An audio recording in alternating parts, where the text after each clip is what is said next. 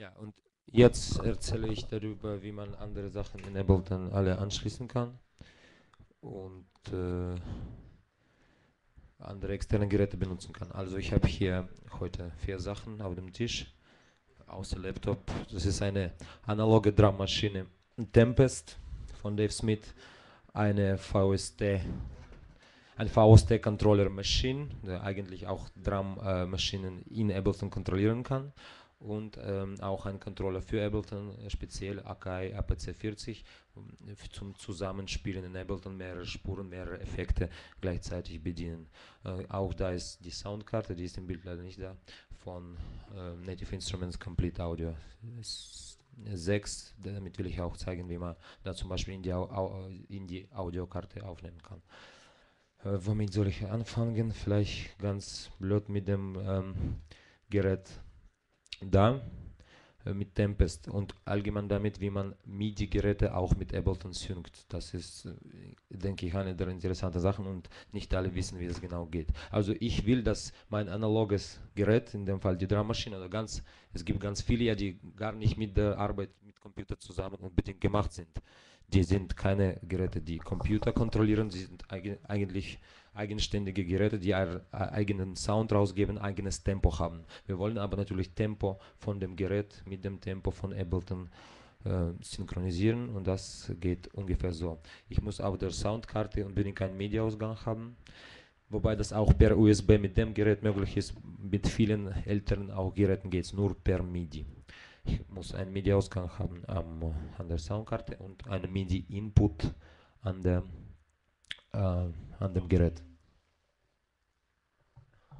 Hier drin gibt es die Einstellungen, die gelten auch, sind auch sehr wichtig in Ableton. Da sind wir noch selten da reingekommen, sind so allgemeine Einstellungen des Programms. Auch Audio, hier kann man die Soundkarte auswählen. Funktioniert bei mir hier zum Beispiel über ASIO-System. ASIO ist so ein allgemeines Interface, das die Soundkarten auf einem PC managt. Also ich äh, arbeite auch mit ASIO und in diesem ASIO-System ist dann die, meine Soundkarte ausgewählt oder eure Soundkarte. Hier sind alle Soundkarten, äh, die man irgendwann an diesen PC angeschlossen hat. Das ist jetzt in dem Fall Complete Audio äh, 6. Da gibt es auch die Einstellungen dieser Soundkarte, welche Eingänge sie hier aufnimmt oder ausgibt. Hat insgesamt sechs Inputs und sechs Outputs. Äh, und da kann man auch noch genauere Einstellungen verwalten, zum Beispiel die Latenz Prozessbuffer. Äh, öfters lässt sich, also bei schwächeren PCs vor allem, ähm, gibt es äh, dieses typische Verzehren. Schon bei drei, vier Synthesatoren oder VSTs funktioniert das nicht mehr so und verzerrt immer wieder und die, der Sound klingt nicht mehr so. Äh, und äh, dann kann man hier diese Puffer äh, Größe einstellen. Je größer die Puffergröße ist, desto mehr Zeit hat praktisch PC eure Sounds zu verarbeiten. Es wird für ihn leichter, aber damit ist auch verbunden, dass ihr nicht sofort hört, was er hier verändert. Dieser Puffer ist sozusagen die Verzögerung, die er sich nimmt, die Zeit, die der Computer sich nimmt, um Sounds noch verarbeiten zu können. Wenn die größer ist, funktioniert es einwandfrei, aber wird im Bezug auf eure Handlungen an Controllern oder so verzögert. Oder auch wenn wir Bassgitarre spielen, mit, mit, äh, wird Aufnahme ein bisschen später. In dem Fall sind es 512 Samples, entsprechend 17 Millisekunden Verzögerung. Das ist einerseits nicht viel, andererseits, wenn man vor allem die elektronische Musik macht, wo alles bit äh, tight sein soll, kann es auch problematisch werden. Deswegen lieber einen guten PC, schnellen PC und eine Soundkarte, die auch sich die beziehungsweise auch öfters innere Prozessoren haben, die diese Arbeit nochmal erleichtern. Okay, das waren aber die Audioeigenschaften. Ich wollte aber MIDI auch erzählen. Hier ist so ein ganz großes Menü, ein MIDI. Äh, Sync-Menü und da sind eigentlich alle MIDI-Geräte äh, drin, die man äh, hier damit, äh, mit denen man überhaupt hier arbeitet. Ähm, da ist zum Beispiel mein Controller Akai PC drin. Jetzt irgendwie nicht, hat er jetzt nicht erkannt, weil wir hier abgeschlossen haben. Na super, zeige ich ja später. Aber die Soundkarte ist hier auch als ein MIDI-Gerät drin. Es geht jetzt nicht um Audio, was Soundkarte aufnimmt oder ausgeht, sondern um ein MIDI-Signal. MIDI-Signal, was ist MIDI-Signal allgemein? Das ist so eine Art ältere Übertragung für Musik. Da wurden nicht die Sounds übertragen, sondern praktisch nur die Noten per MIDI. Noten in einer bestimmten Geschwindigkeit, also eine MIDI-Spur ist einfach sozusagen ihre, all, eure alle Noten, die ihr gespielt habt. Dabei ist Bassdrum auch eine Note und Clap ist auch eine Note. Wie lang die Noten sind, wo die stehen, wird alles per MIDI übertragen und auch das Tempo oder der Raster, in dem diese Noten gespielt werden. Deswegen wollen wir ja von der Soundkarte äh, diesen ähm, Signal, vor allem die Schnelligkeit, äh, die Schnelligkeit vom Computer, die, das Tempo von zum Beispiel 126 BPM auf mein analoges Gerät zu übertragen. Versuchen wir das. Also es muss der Output der Soundkarte äh, an sein. Also wir machen hier, wählen die Soundkarte hier und machen da ähm, den Sync-Output, also gibt es sogar und versuchen jetzt zu hören, was auf dem. Ja.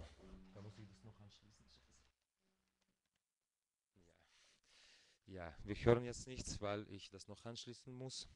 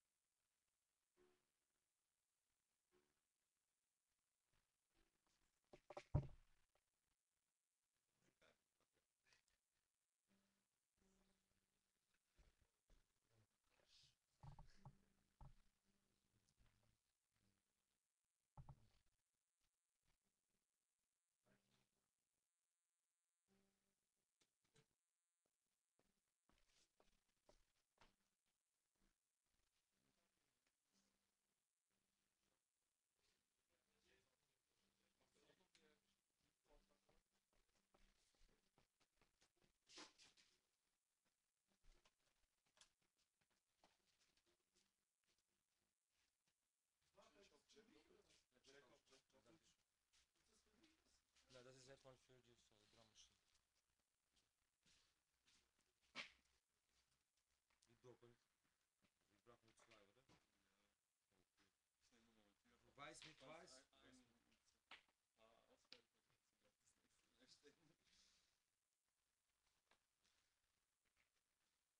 Ja, ich gehe von, vom Ausgang der, der Drummaschine natürlich. Jetzt geht es jetzt nicht, nicht um MIDI-Sync, sondern um Audio. Also es muss sowohl Audio als auch MIDI verbunden werden. Per MIDI verbinde ich das später. Jetzt verbinde ich einfach den ganz normalen Audioausgang der, ähm, der Drummaschine mit der MIDI-Soundkarte.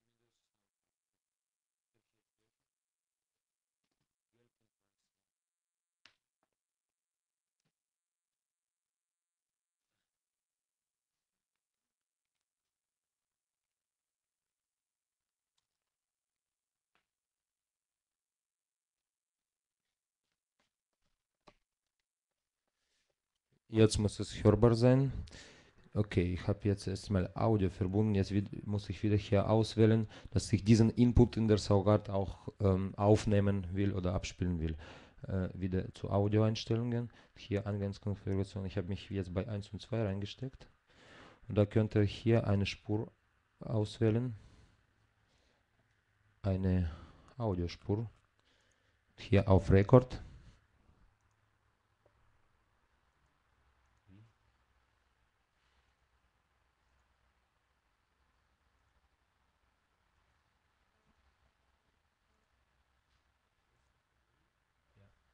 Auf Rekord drücken und dann wenn hier rechts IO Input Output druckt, dann schaut ihr von welcher Quelle da der Audio Input und der Audio Output. Also es ist möglich, das ganz anders zu managen, dass da zum Beispiel Input von einem anderen Synthesizer ist. Ihr könnt also auf eine Audiospur andere Spuren wieder aufnehmen oder die Live-Veränderungen, die ihr live macht, könnt ihr alles in Ableton wieder intern aufnehmen. Das finde ich ganz toll. Hier will ich aber jetzt eine externe Quelle aufnehmen.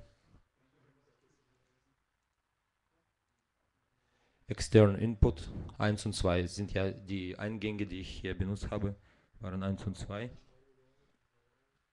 Und jetzt müsste. Okay.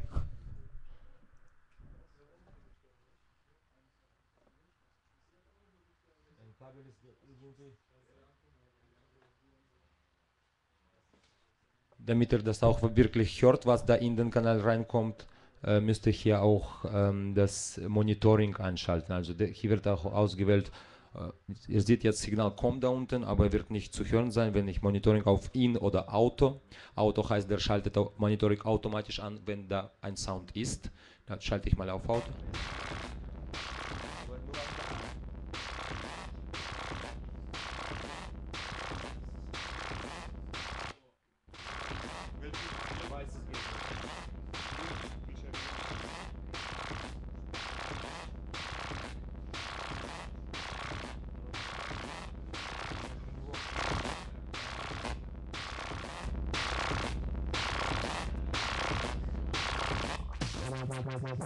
Das sind alles Beats von meiner Soundkarte.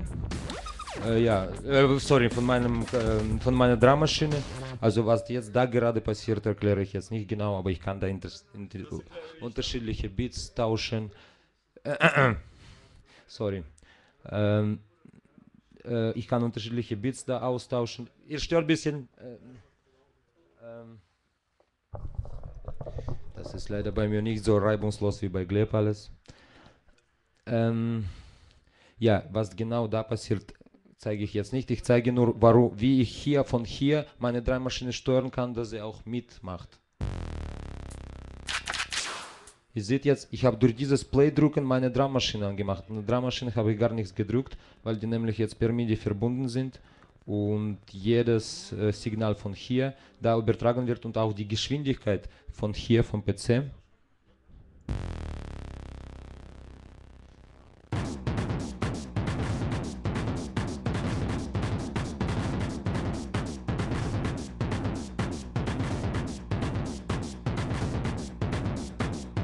So klingt ein bisschen Ravy. Äh, dann nehmen wir das nochmal auf.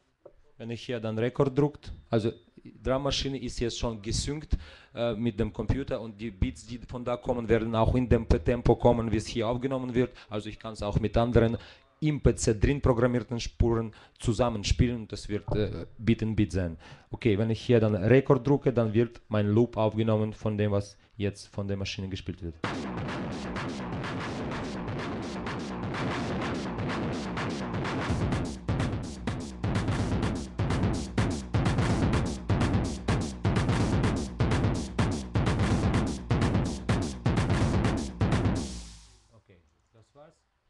Da ist die Aufnahme. Ich wähle nur praktisch, ich wähle nur den Ausschnitt, wo es wirklich äh, mir interessante, äh, ja, der Sound so war, wo ich, so wie ich es wollte. Ist hier noch zu früh vielleicht.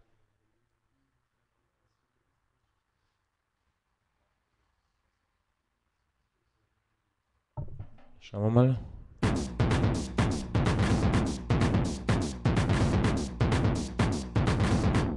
Und da unten steht Loop, deswegen wird, wird, nur der Ausschnitt wiederholt, das hier, ich hier ausgewählt habe. Somit habe ich diesen Beat sozusagen.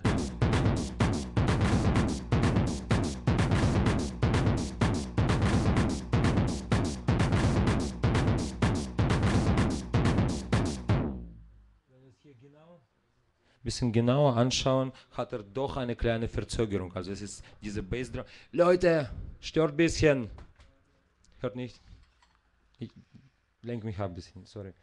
Ähm, äh, ja, äh, seht hier, dass doch eine Verzögerung passiert ist. Das ist hier anscheinend die erste Bassdrum und die ist nicht genau im fünften Takt oder im siebten Takt, weil es nämlich das Signal doch mit ein bisschen Verzögerung aufgenommen wurde. Das kann ich ähm, hier auch ändern. Es gibt auch in der MIDI, im MIDI-Signal eine Verzögerung. Hier steht die nämlich. Jetzt ist es 32 Millisekunden bei mir oder die Verzögerungskompensierung, dass das wieder auf den Bit, also MIDI-Signal kommt auch nicht sofort dahin und zurück, beziehungsweise deswegen gibt es auch eine Verzögerung, die man aber intern im PC kompensieren will. Er macht dann praktisch sein MIDI-Signal ein bisschen früher, damit die Aufnahme dann wieder im richtigen Moment passiert. Aber ehrlich gesagt, diese Kleinigkeit hier kann ich auch anders beheben, indem ich einfach den Start meines Loops verschiebe und dann wird es auch der Start sein, wo die erste Bassdrum ungefähr startet. das ist jetzt nicht mehr von der Sound äh, Drummaschine äh, gespielt, sondern es ist schon ein Loop, das ich von der aufgenommen habe und damit hier arbeiten kann. Okay, dann nehmen wir doch mal auch Live-Instrumenten auf. Bei uns ist Anton Heidelberg mit seinem Ukulele.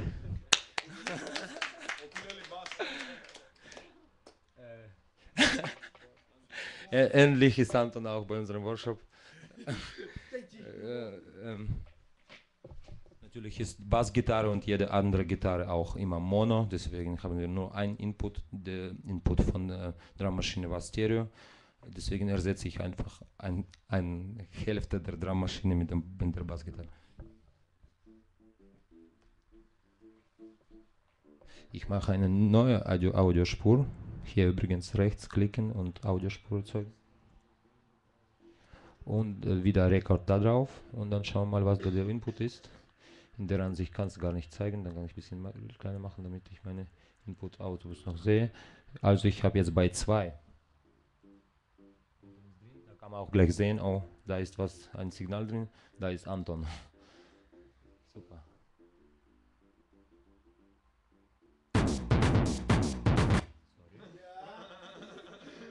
Das, das heißt übrigens, dass äh, das spielt immer noch. Da muss ich Stopp da drücken. Also nochmal.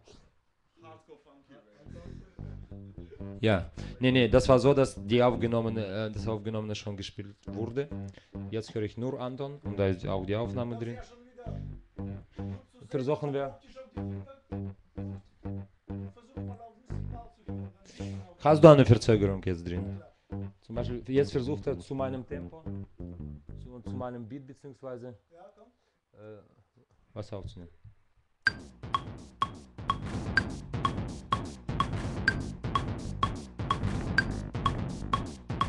Vielleicht gleich bevor er sogar Gitarre aufnimmt oder so, wenn es wirklich direkt ohne Vorverstärker kommt, muss man schon gleich Kompressoren oder andere Effekte darauf setzen. Also ich jetzt auf Anhieb einfach einen Kompressor. Natürlich muss man genau schauen, was für Effekte man schon vorher bei der Aufnahme äh, da hat auf der Bass, äh, auf der Live-Spur, sodass es auch der Sound gut rauskommt, weil natürlich so Line-In anzuschließen für eine Gitarre ohne Vorverstärker ist nicht der Sound, das übliche Gitarrensound bei Aufnahmen ist.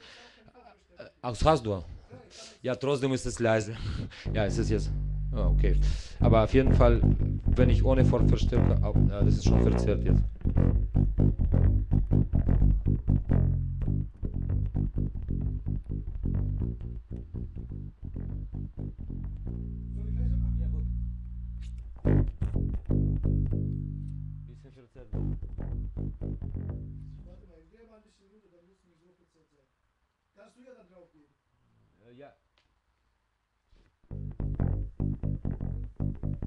Thank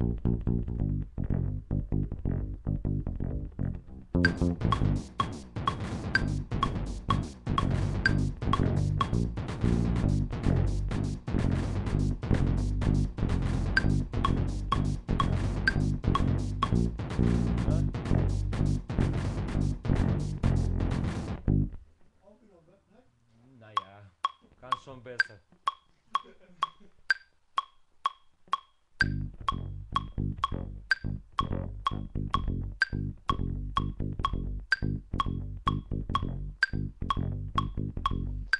So tight spielt Anton heute nicht.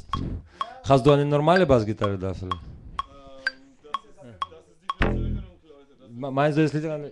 Ja, ich, ich, ich kann es versuchen, hier meine Verzögerung kleiner zu machen.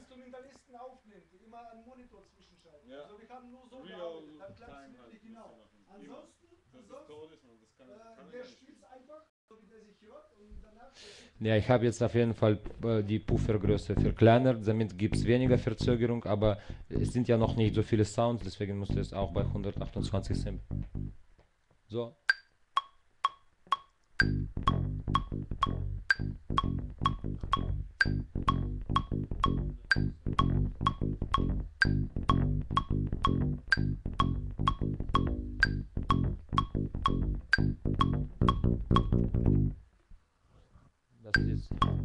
Seine Aufnahme schon leise, ja. Müsste es schon lauter werden.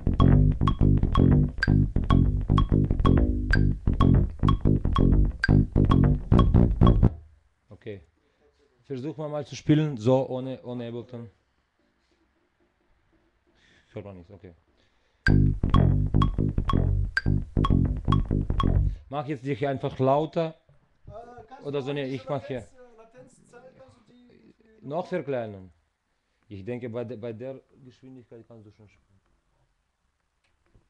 Ja, es muss ja nicht ja was, nur das kleinste, was es gibt, sind 32 Samples, aber es ist fast sicher, das wird nicht funktionieren mit dem PC. Ja, 64 vielleicht mal probieren.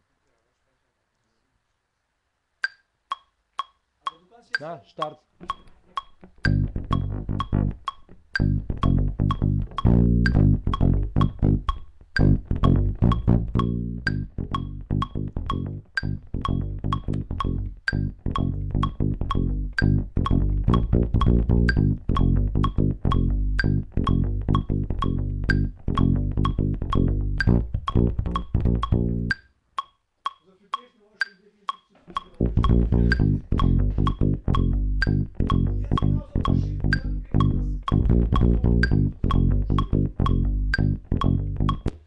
Da sehen wir, Anton hat, wenn er jetzt rhythmisch gespielt hätte.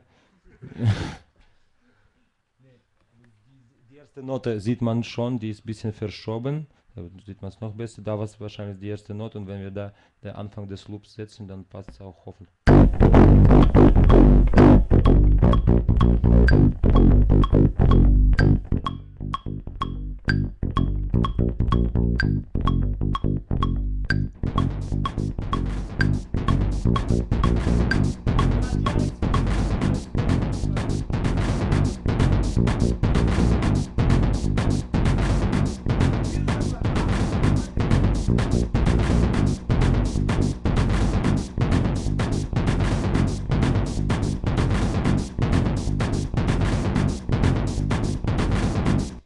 Was man noch versuchen kann, um das hier genau zu warpen, kann man hier, wie gesagt, 1, 1 einsetzen von eurem Loop. Da ist der Startpunkt und von da aus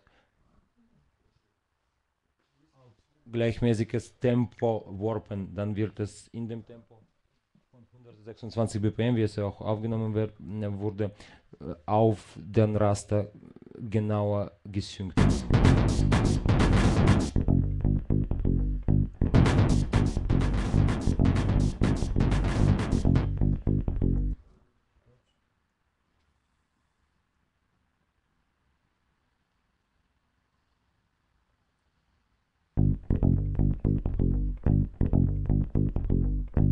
Jetzt habe ich einen ganz kleinen äh, Loop genommen, also einmal, wo er das ganze Thema geht.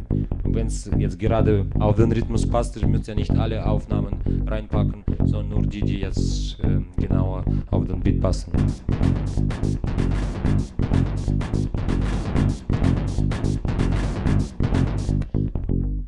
Was ich hier noch zeigen äh, kann, wie die Maschine damit funktioniert. Also Native Instruments Maschine ist eigentlich auch ein Instrument für sich, aber das kann man auch in Ableton drin benutzen.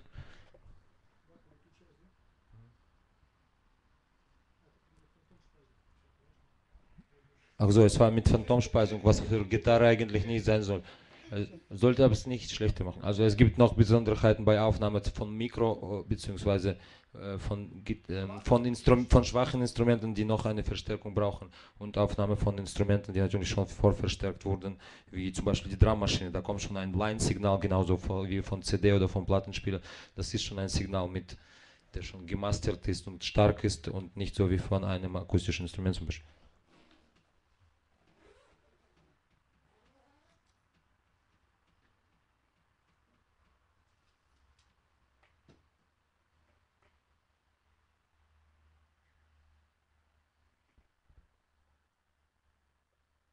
Ich ziehe die Maschine auf eine MIDI-Spur. Das ist nicht mehr ein Sound, das ist ein Gerät, das in äh, Ableton als ein internes äh, MIDI-Gerät benutzt werden kann, als ein VST. Und jetzt erscheint Maschine da auf der Spur 2. Maschine wird dann automatisch mit Ableton gesynkt. Da braucht ihr keine MIDI-Einstellungen zu machen. Wenn Maschine in Ableton drin funktioniert, dann funktioniert sie in dem Tempo wie auch Ableton. Kann, ich jetzt ein Kit benutzen. Also ich werde jetzt nicht neu produzieren, sondern einfach zeigen, wie es funktioniert. Äh, bei der gekauften Version von Maschine, was ich zum Glück habe, sind auch äh, ganz viele zusätzliche Kits dabei, Producers. Produced Kit hier für Techno-Liebhaber, sowas wie. Naja, nicht nur Techno, Bonaparte, ähm, Dubstep, nee, das muss Dominik Olberg für Liebhaber. Ähm, auf jeden Fall war irgendwo Chris Liebing auch mit drin, was ich auch am öftesten benutze. Nee, stopp.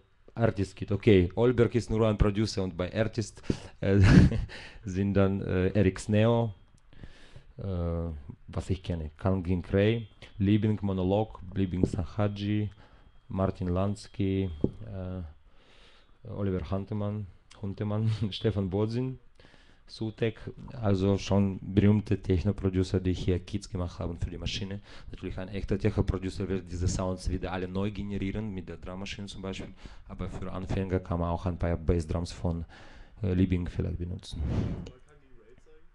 Ah? Okay. Okay, starten wir mit Kangin Range Stabil Kit. Wir können auch mehrere Kits hier reinziehen. Zwei Candy Rack Hits und ähm, einen von Lebin Konstantin. Die Maschine.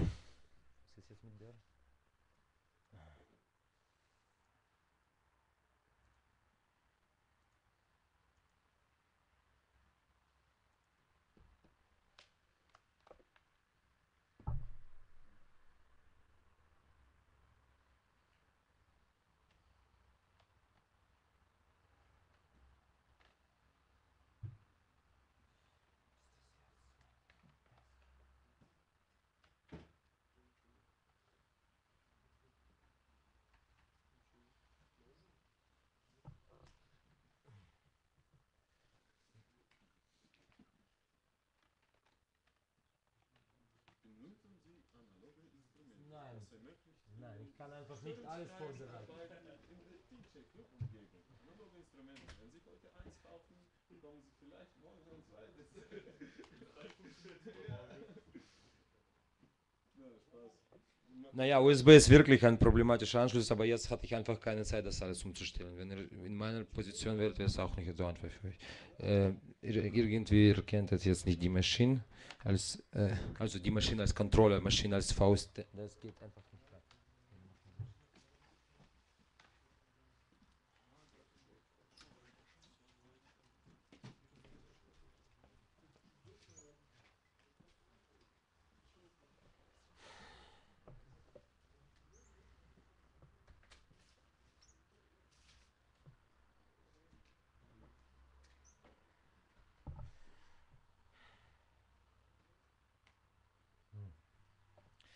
Jetzt.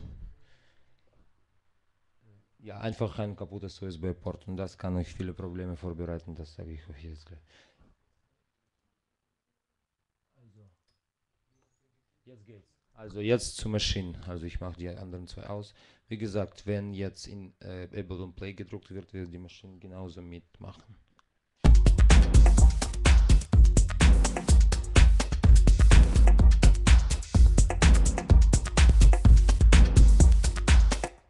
Also ein Beat mit Kenyon Craig's Kit, also diese Sounds hat Kenyon Craig gemacht und wahrscheinlich auch als die- diesen Beat als ein Beispiel.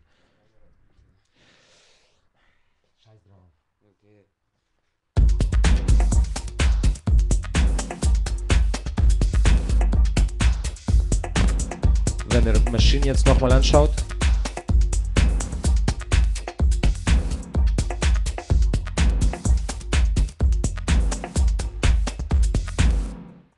da oben sehen würden, was hier auf dem Controller passiert, ich kann einzelne Sounds also auch ein- und ausschalten auf der Maschine. Zum Beispiel. Das ist natürlich das Einfachste, was ich jetzt tue. Also ich kann diesen Beat da komplett kontrollieren von der Maschine aus.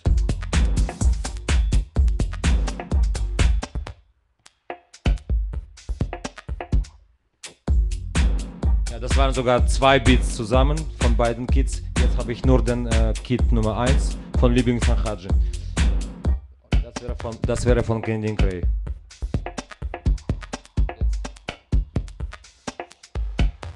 Hier sieht man nicht leider, was ich auf der Maschine mache, weil Paul kann es machen, dass wir hier auch die Geräte sehen auf dem Beamer.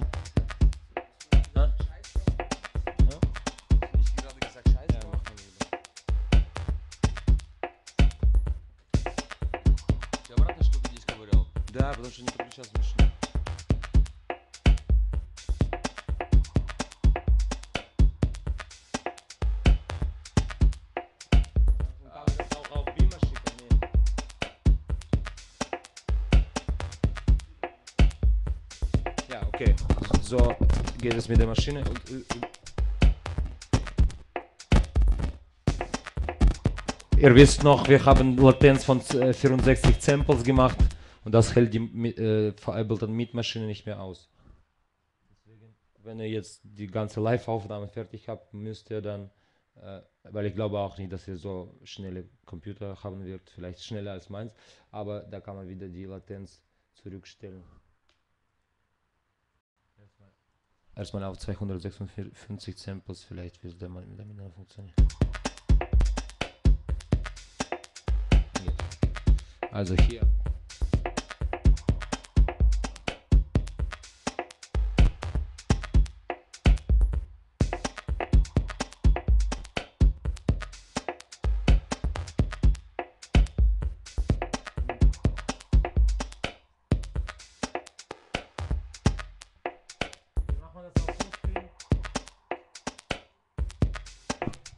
Paul, wie macht man das auf Fullscreen? Das. Hm? Das Bild auf Fullscreen. Dieses Bild auf alles. Dass die das da.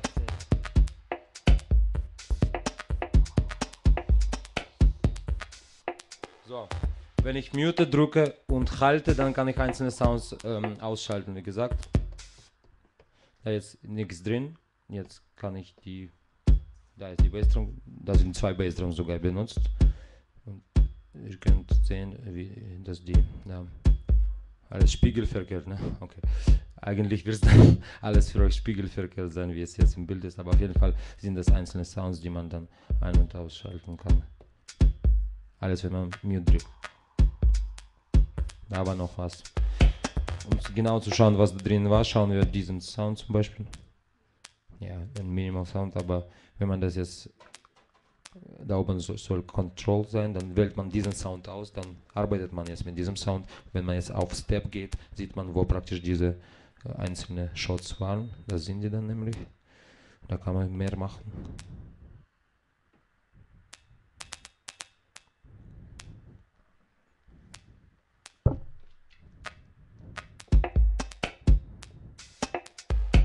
Ich versuche jetzt einen neuen Beat zu produzieren.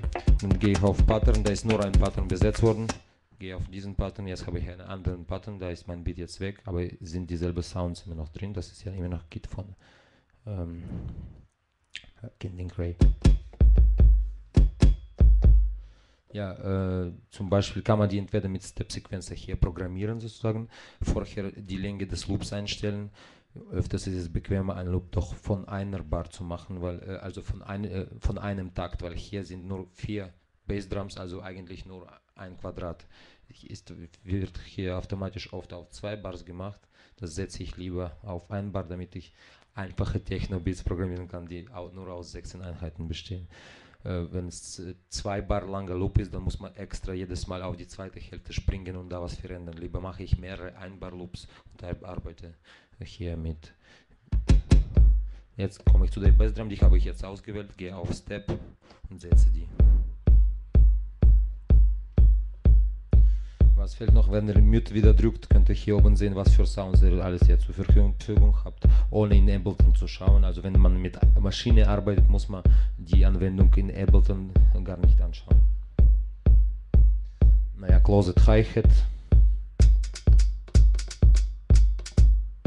Man kann auch ohne Steps-Sequencer das aufnehmen, was man gerade live gespielt hat. So.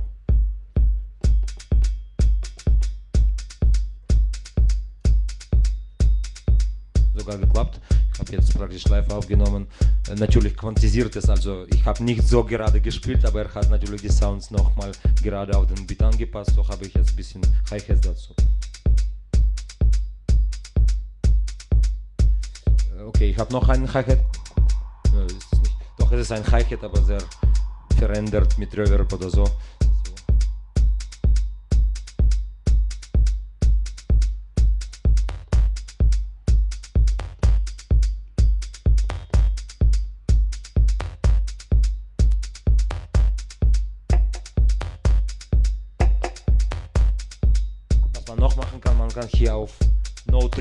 Drücken und einen, einen Sound halten, dann wird es automatisch wiederholt wie RPG. Das geschieht jetzt immer ein Achteltakt oder auch ein Sechstel.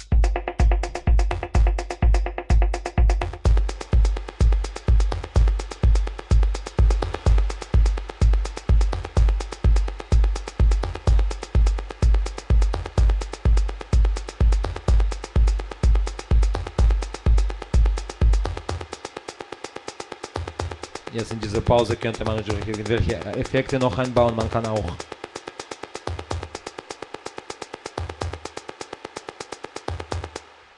auf diese Maschinenspur kann man dann auch in Ableton Effekte dazu einbauen oder man kann auch in die Maschine rein Effekte einbauen, wie zum Beispiel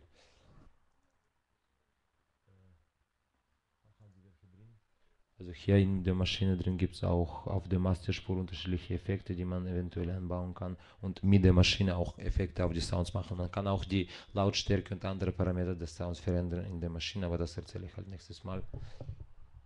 Und so haben wir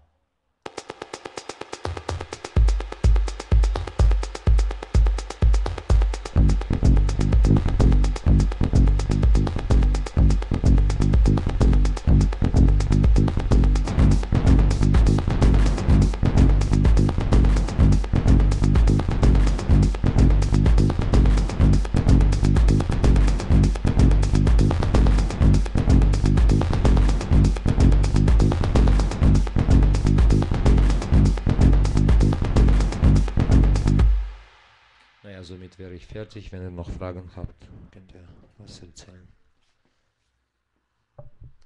Danke. Und jetzt kommt nach einer kurzen Pause Philipp und erzählt uns auf Aufbau von Synthes. Synthesizer. Was? Lustige was? Lustige Programme über Synthesizer. Aber Lustiges Programm über lustige. Jetzt kommt Entspannungszeit.